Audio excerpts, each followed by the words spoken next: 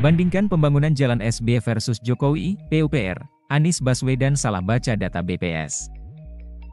Kementerian Pekerjaan Umum dan Perumahan Rakyat, PUPR, buka suara terkait kritik bakal calon Presiden Anies Baswedan, yang menyebut pembangunan jalan nasional di era pemerintahan Susilo Bambang Yudhoyono, SBY. 20 kali lipat lebih banyak dari Presiden Joko Widodo, Jokowi. Meskipun Jokowi sukses membangun 1.569 km jalan tol, tapi Anies menganggap SBY lebih hebat.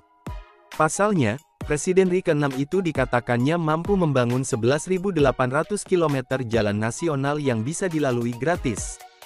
Direktur Jenderal Bina Marga Kementerian PUPR, Hedi Rahadian menilai, Anies Baswedan keliru dalam mengartikan data milik Badan Pusat Statistik, BPS.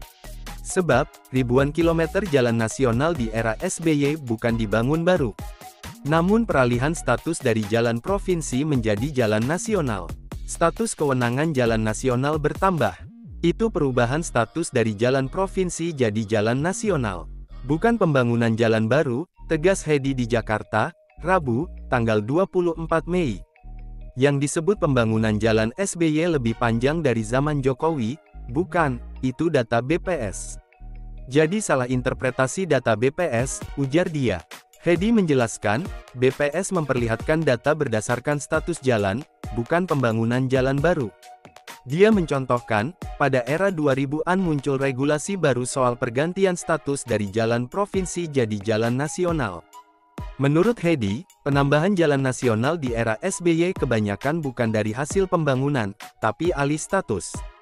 Pemerintahan di masa Jokowi pun melakukan perubahan, meskipun Hedi mengklaim itu sedikit. Tapi itu tak ada hubungannya dengan hasil pembangunan. Itu adalah perubahan status jalan. Beda antara penambahan status jalan nasional dan hasil pembangunan jalan. Bukan jalan barunya, tuturnya.